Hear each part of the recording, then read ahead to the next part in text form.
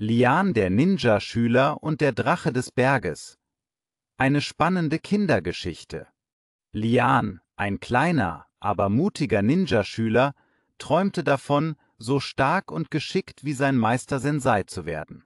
Jeden Morgen übten sie gemeinsam am Fuße des hohen Berges, schärften Lian seine Sinne und perfektionierten seine Kampftechniken. Eines Tages erzählte Sensei von einem bösen Drachen, der in den dunklen Höhlen des Berges hauste.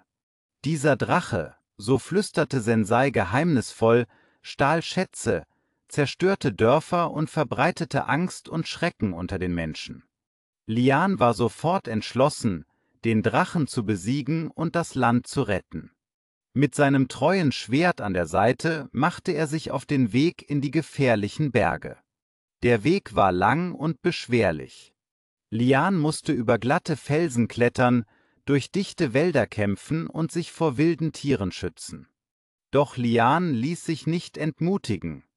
Er dachte an all die Menschen, die unter der Tyrannei des Drachen litten und schöpfte daraus neue Kraft. Als Lian endlich die Höhle des Drachen erreichte, war er überwältigt von dessen Größe und Macht.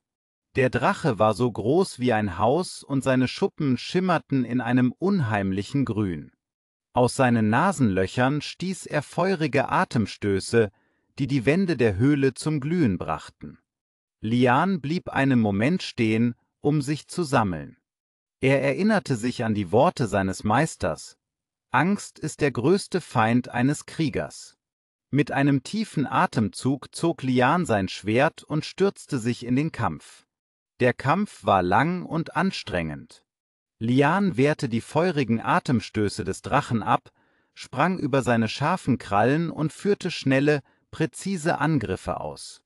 Doch der Drache war stark und ließ nicht locker. In einem Moment der Unachtsamkeit gelang es dem Drachen, Lian mit seinem Schwanz zu schlagen. Lian wurde durch die Höhle geschleudert und landete hart auf einem Haufen Steine. Er fühlte einen starken Schmerz in seiner Schulter, aber er weigerte sich aufzugeben. Mit letzter Kraft rappelte er sich wieder auf und setzte den Kampf fort. In einem entscheidenden Moment gelang es Lian, den Drachen zu verwunden. Er stieß sein Schwert in eine der Schuppen des Drachens, wodurch dieser einen schmerzverzerrten Schrei ausstieß. Der Drache wütete wild um sich, doch Lian blieb ruhig und konzentriert. Mit einem letzten kräftigen Schlag traf er den Drachen in seinen empfindlichen Kopf. Der Drache stürzte zu Boden und bewegte sich nicht mehr. Lian hatte gewonnen. Er hatte den bösen Drachen besiegt und das Land befreit. Als er zurück in sein Dorf kam, wurde er als Held gefeiert. Die Menschen waren ihm zutiefst dankbar und errichteten ihm zu Ehren eine Statue. Lian war stolz auf seine Leistung aber er wusste, dass sein Weg als Ninja noch lange nicht zu Ende war. Denn es gab immer wieder neue Herausforderungen zu meistern und Abenteuer zu erleben. Lian hatte sein Schicksal angenommen und war zum neuen Meister der Ninja-Schule geworden. Unter seiner Führung blühte die Schule auf. Junge Talente aus allen Ecken des Landes strömten herbei, um von Lian und seinen erfahrenen Schülern zu lernen. Die Schule war mehr als nur ein Ort zum Trainieren. Sie war ein Zuhause für alle, die nach Wissen und Gemeinschaft suchten. Während Lian und seine Schüler die Welt bereisten und Gutes taten, stießen sie auf ein dunkles Geheimnis, das sich tief in den Wurzeln ihrer Geschichte verbarg. Ein uralter Fluch drohte, die Welt ins Chaos zu stürzen. Lian erfuhr, dass sein eigener Sensei, der ihn so sehr bewundert hatte, einst ein Schüler eines dunklen Meisters gewesen war. Dieser Meister hatte einen Teil seiner dunklen Macht in Sensei hinterlassen, und nun drohte diese Macht, wieder erwacht. Lian musste sich entscheiden. Sollte er den dunklen Teil seines Meisters akzeptieren und selbst zu einem mächtigen, aber gefährlichen Krieger werden? Oder sollte er versuchen, die Dunkelheit zu besiegen und das Erbe seines Meisters zu retten? Um diese Entscheidung zu treffen, begab sich Lian auf eine gefährliche Reise in die Vergangenheit.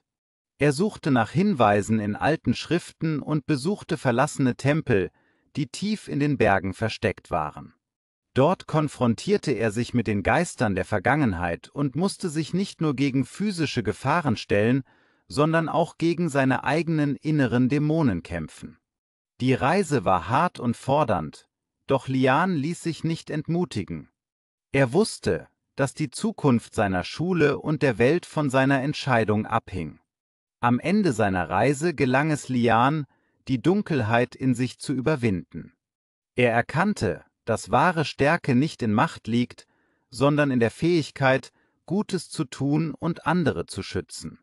Mit diesem neuen Wissen kehrte er zu seiner Schule zurück und teilte seine Erkenntnisse mit seinen Schülern.